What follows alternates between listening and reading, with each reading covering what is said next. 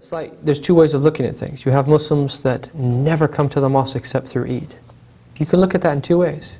You could say that, khalas, these people never come to the mosque and criticize them. Or you could say from a different perspective, at least they're coming to Eid. I would rather them, I would rather them come to Eid than not have any association with Islam whatsoever. At least they're coming to Eid. And our Prophet said that the, the hour won't come until people never say in the earth, no longer say in the earth, Allah, Allah. Right?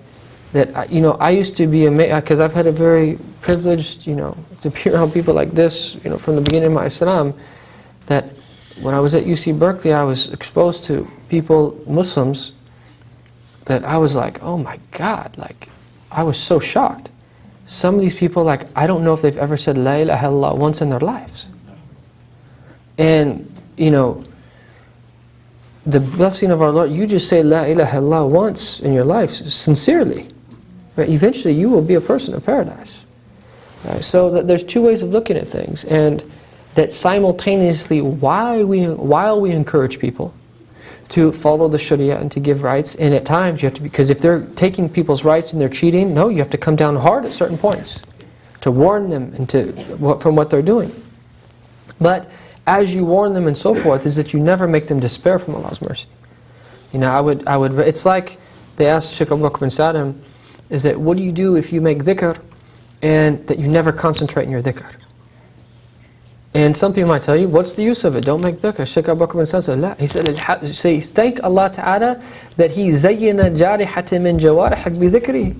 He said, thank Allah Ta'ala that He made one of your limbs at least remember Him. He said, because even if you're only mentioning Allah with your tongue, that your heedlessness not making dhikr is greater than your heedlessness making dhikr. So in a sense that, yani, obviously that's not the ideal state. The ideal state is to be present with Allah and to have adab and so forth.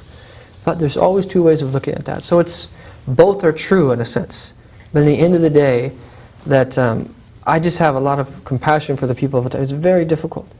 You know, I had a deep conversation with this, like with Sheikh Faraz, and that we were, we were talking about like how difficult it is for Muslims in, excuse me for mentioning countries, in places like Syria and in Pakistan and in yani India, these, like in other places in Afghanistan, to live an upright life and just to, just to not take rashwa and to be in Egypt and to actually have an honest income and not have to pay someone off and not to do something haram to make your business, like, it's very difficult. Now, Allah Ta'ala will give you a makhraj if you're a person of taqwa, absolutely. But it's hard for people. Right, the bureaucracy and the red tape, just to get the simplest thing done is hard for people. So I, you have to, I, our time, you have to have a soft spot for people and a deep mercy, while at the same time, principle's principle. You know, so, you know. But what happens is if people don't have that mercy and they come down on these people, they push them away further.